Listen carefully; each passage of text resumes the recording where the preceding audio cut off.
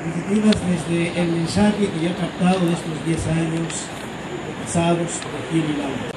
Encontré que la realidad y el tema del amor en la edad que tienen Gilberto y Laura, que es la vida de los adultos, un amor maduro, se me ocurrió entregarles una reflexión sobre los nuevos significados del amor, que sirvan para todos, que nos nutran a todos y que den alegría y solidez a esta celebración. Tenemos una herencia cultural acerca del amor que partió de un modelo muy popular y muy mitológico, que era el modelo de la carencia o del déficit. Se decía que el ser humano, el hombre y la mujer, se buscaban el uno al otro porque eran la media naranja. No eran seres completos, eran mitades. Y esta herencia cultural ha traído muchos errores para el matrimonio, para la pareja, para la vida humana, porque nos considerábamos motivados por el déficit, por la carencia y no por la abundancia. Y hoy las nuevas teorías del amor, las más saludables, son aquellas que parten de que los seres humanos en sí, individualmente, somos completos. Somos enteros, no somos mitades, ni medias naranjas. Por tanto, el amor no se mueve desde la carencia, ni desde la miseria, ni desde la pobreza, sino desde la abundancia. Por eso es regalo.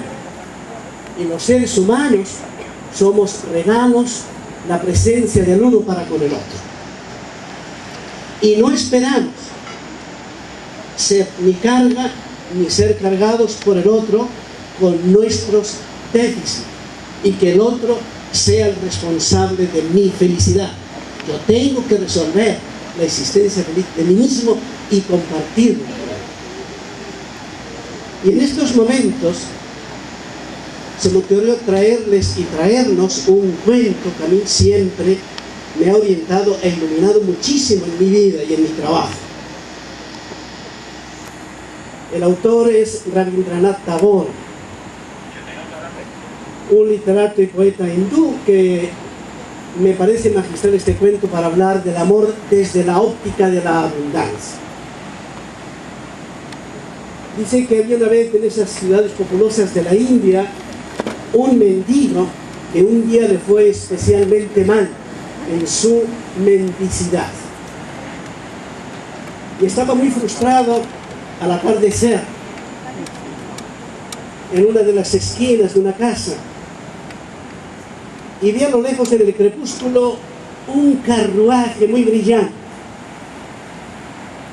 Era la carroza del rey y pensó, si es el rey, ya salí de pobre. porque se va a conmiserar de mí? Me va a ver tan desgraciado, tan harapiento, tan mugroso, tan pobre, que el rey me va a dar oro y ya, ya la hice, ya me tocó la lotería. Efectivamente, saliendo de la ensoñación, se acerca al carruaje donde estaba el mendigo y era el carruaje real. ¿Y cuál fue la sorpresa del mendigo? Que el carruaje se detiene en su presencia, se abre una portezuela, se tiende una alfombra y sale el rey y se pone de rodillas delante del mendigo con la mano extendida así. Y le dijo, oye, ¿me puedes dar algo de lo que tengas?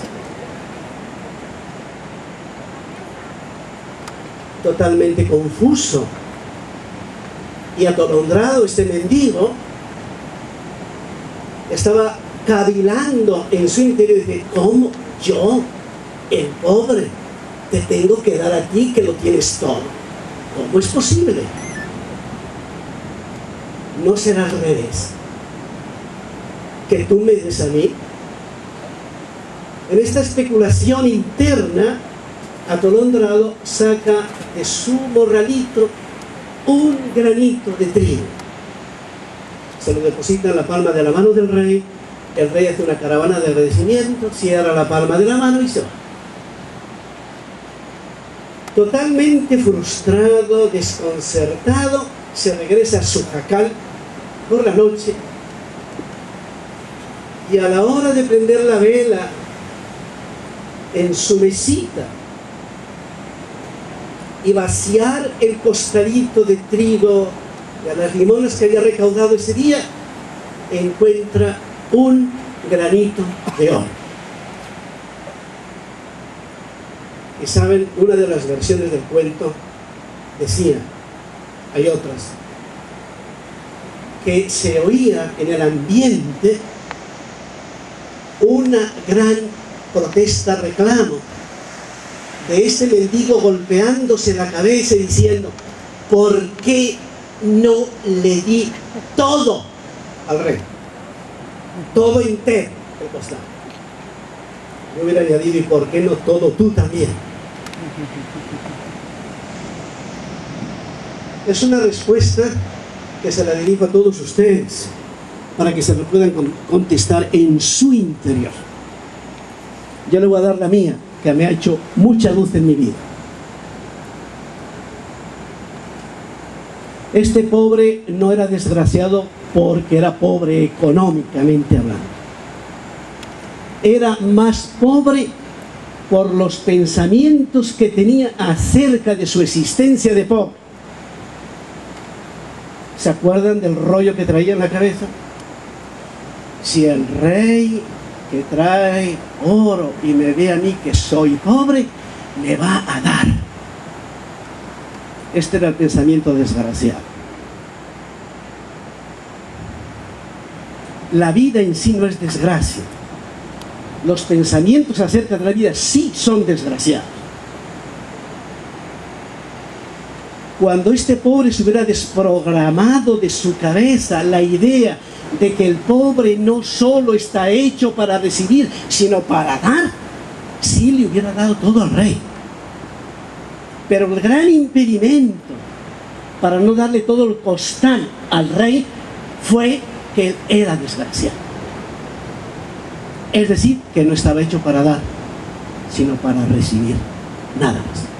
Por eso, queridos amigos, en esta noche el mensaje de este cuento es no hemos nacido tan discapacitados ni tan pobres que no podamos regalarnos unos a otros.